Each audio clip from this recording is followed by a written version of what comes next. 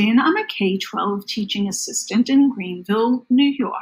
Today, I'm going to show you how to insert images into a Google form. So, the first thing I like to do is go to my Google Drive, and I like to create my forms inside of a folder to keep them organized. I'm going to click the New button. I'm going to scroll down to More and click Google Forms. First step I do is I like to give it a title. So I'm going to click this area. I'm going to click Emotions. Now I'm going to click down here. That brings the title into the form. But I want to add a word before the title. So I'm going to click and add it and then click over into the background. This makes this title a little bit different than the title that I have up in the corner. Now I'm going to click the untitled question. By default, it gives me multiple choice question. I'm going to say, how does this person feel? Now, as you noticed, I can click this image icon, and this is where I would add my images. It gives me the choice of upload, take a snapshot, by URL your Google photo album from your Google Drive or do a search. I'm going to do a search. And I'm going to do search for, oops, sad person.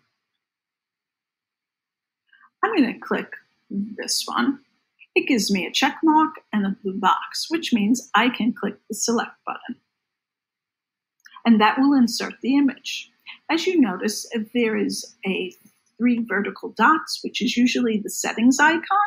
If I click on that, this will allow me to left align, center align, right align, change the image or remove it or add a caption. For today, I am going to center the image. However, I think this image is a little big, so I'm going to click it until I get a blue box. I'm going to go to one of the corners, hold down, and drag to make it smaller. Now I want to put an, an image in my answer. One thing you need to note is you can do images and answers for multiple choice. And let me click this drop down arrow to get more questions up. And you can also do it for checkbox questions. All other questions, you can only put the image in the question area. I think I'll do check boxes. Now I'm going to go over to where it says option one, and I'm going to type an answer of happy. Now I'm going to go and add image by clicking the add image icon. I'm going to do a search. And this time I'm going to do it for happy emoticons. I'm going to select one of the happy ones it gives me a blue box and a check mark, and I click the select blue button, which will insert the image with that answer. I want to put one more answer in. So I'm going to click here. It gives me option two, and I'm going to put the word sad.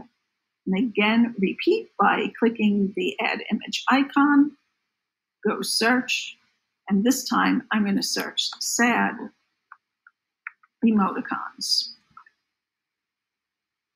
and pick a sad one and insert it. Now I want to preview my form, so I go up to this eyeball, which is the preview. Now I can preview my form. This is especially helpful to insert images um, for the visual learner or a student who may have a problem comprehending words. It will help support them in finding the right answer.